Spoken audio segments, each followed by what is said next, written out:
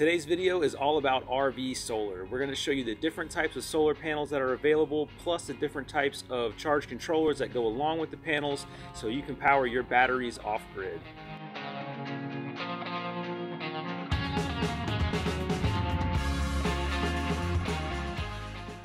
This is a part of our RV solar series where we show you how to power your coach off-grid. We've already talked about the different options available if you're going to upgrade your RV batteries, and we've talked about RV power inverters, which allow you to convert power from your battery to power things on your coach that make living in an RV comfortable, like your microwave, your TV, or your hair dryer. Coffee pot. Yeah. Today we're going to be talking about the solar panels. This kind of rounds out everything in your RV solar system because you can have an upgraded battery bank or you can have an inverter without actually needing solar panels. But if you want to continuously receive power without needing to turn a generator on or to plug into shore power to recharge your batteries and continue to use an inverter, you're going to want solar panels. So we're going to talk about the different options or considerations you need to think about when choosing solar panels so you can figure out which one is right for your rig. And we're also going to talk about solar charge controllers, which needs to be purchased in conjunction with your solar panels to complete your off-grid setup. When it comes to choosing solar panels for your RV, you're going to want to consider three things. Cell type, panel construction, and how do you want to mount them. The cell type of an RV solar panel determines the cost, as well as the longevity or lifespan of the panel, and the charging efficiency. In the RV solar world, there are two main types of panels. There are other panel options, but they're not really used in the RV industry very often. You're primarily going to see monocrystalline and polycrystalline panels. Polycrystalline panels are going to be the cheapest option out of the two. They're less efficient overall in charging, so you get less wattage per square foot. They're also a little bit bigger than monocrystalline panels, although the size differentiation isn't that much of a distinction, and they don't last as long. If you're trying to get the most bang for your buck and get the most power out of your solar panels, monocrystalline is the way to go. Well, you're probably not going to have to distinguish which panels are which on your own. If you're shopping online, it will tell you if it's monocrystalline or polycrystalline. It is helpful to be able to look at a panel and know which type of cell it is. A polycrystalline panel is going to be rectangular cells and it's going to be lighter in color than a monocrystalline panel, which is made up of individual cells and is typically darker in color. The next thing for you to consider is panel construction. There are two main types of panel construction. One is flexible and the other is rigid.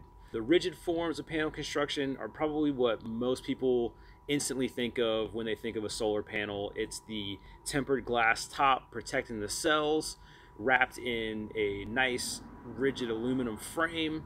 The other type is flexible panels. Flexible panels are normally chosen for RVs that are oddly shaped, like an R-pod or a teardrop, where you don't have a huge surface to mount a rigid panel on top of the roof. You can use the flexible panels since they bend to fit an odd-shaped RV. They are also much thinner and much lighter than a rigid panel. So if you are tight on your cargo carrying capacity and you don't want to give a precious weight to your RV panels, you can definitely choose flexible as a really great option. Now let's talk about the pros and cons of each. With rigid construction, they're obviously way more durable since they have a, an aluminum frame and a tempered glass top. So they will survive a light hailstorm, you know, low hanging branches, things like that. You can also buy mounting kits that will allow you to tilt the panels away from your roof to get the maximum sun exposure on the panels depending on the time of day. They're also a bit cheaper than the newer flexible panels that are available.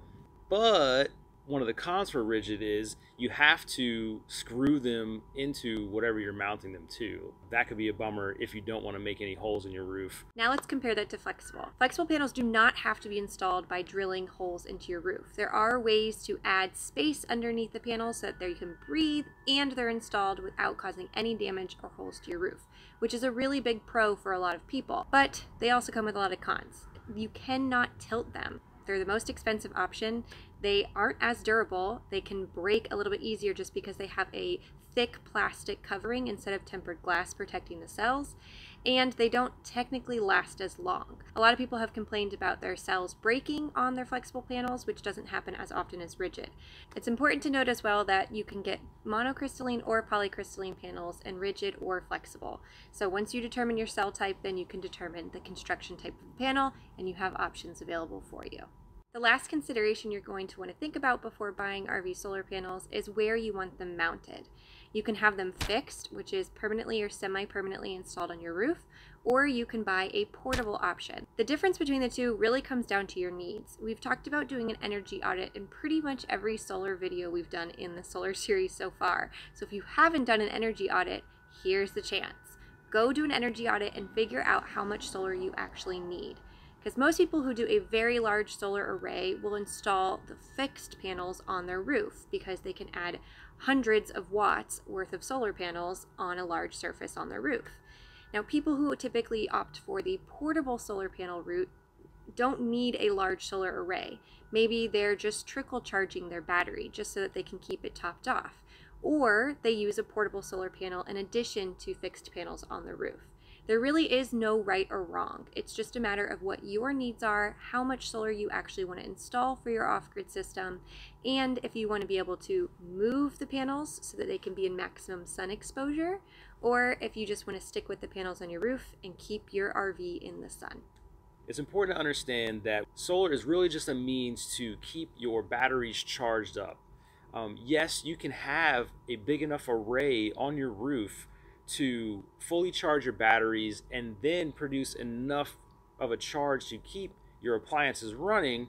But at the end of the day, it's just wasted power unless you have a big enough battery bank to complement the solar array that you have on the roof. So if you go with a thousand watts of panels on the roof and you only have two you know six volt batteries installed then you're going to charge those batteries up really quickly yes but then the rest of it's just kind of wasted you know wasted effort. Definitely do an energy audit. That way you can fully understand exactly what your energy consumption is and therefore you can scale your off-grid system accordingly to that. Also your budget's going to dictate a lot of the components size and, and quality that you're going to go with. But don't let that stop you because you can always add things or upgrade things later for our current RV, we decided to go with three 130 watt flexible monocrystalline solar panels from AIMS Power. It's the same company that set us up with our solar charge controller, which we're going to talk about in just a minute, and our inverter. So we knew that the entire system would work together really well. And the reason we ended up going with flexible this go around was because we really wanted to save on weight. We have limited cargo carrying capacity in our Class C RV, so we really wanted to maximize the amount of sun that we could get and the power we could bring in through our solar panels without compromising weight. So we opted for flexible solar panels. It's really up to you which solar panel is going to make sense for your rig. Just make sure that the next component, which is your solar charge controller, is going to be compatible with your entire system. Let's talk about the second part of the solar system setup, which is going to be your solar charge controller. So the job of the solar charge controller is to basically be the gatekeeper between the panels and your batteries. It's going to evaluate the state of charge inside of the batteries and regulate the energy that the panels are bringing in from the sun on the roof. That way you don't overcharge your batteries and damage them. There's two main types of solar charge controllers, MPPT and PWM. If you really want to dive in deep to the tech side of this, we do have a blog post which compares a lot more in depth about the difference between the two. But in summary, a PWM is going to be less efficient. You also have to have the voltage output of your solar panels match the voltage on your battery bank, which can be limiting. PWMs are often better for a small solar setup, and if you're going to be doing several panels on your roof, we definitely suggest going with an MPPT. MPPT is going to be more efficient overall, and you can have different output wattages for your solar array compared to your battery bank. So it just gives you more options. You can also build a much larger solar array.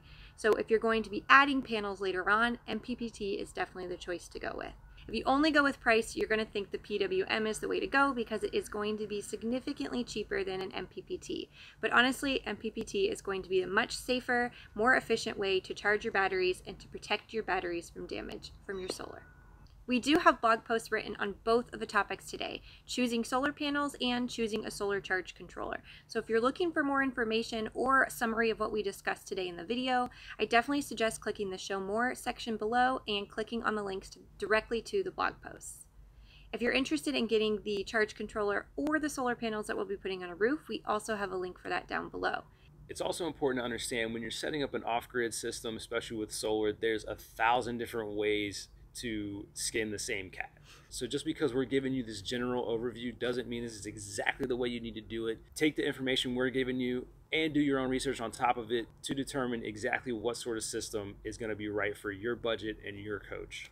There's a lot more information that can be learned about solar charge controllers and how they work with solar panels, and there are a lot of videos out there that go into great depth about the charging efficiencies and what they actually do.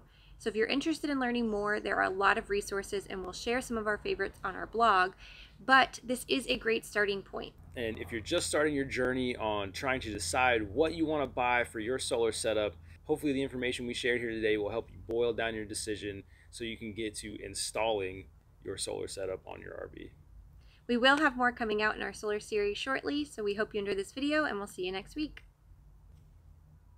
Yeah, if you ever start your own YouTube channel or try to just record anything in general, every time you start your camera up, someone's gonna start making some sort of obnoxious noise. Literally, they just started a wood chipper.